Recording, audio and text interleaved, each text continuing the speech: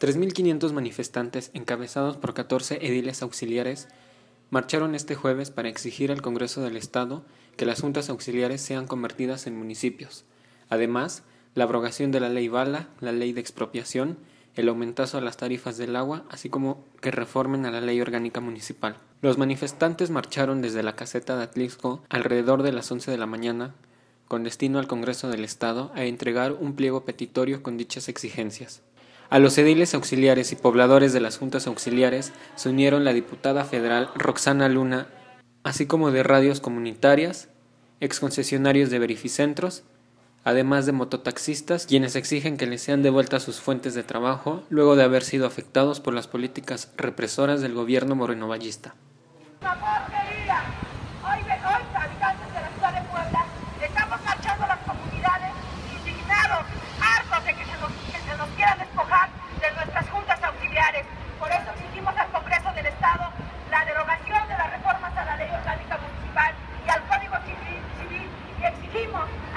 estados vendidos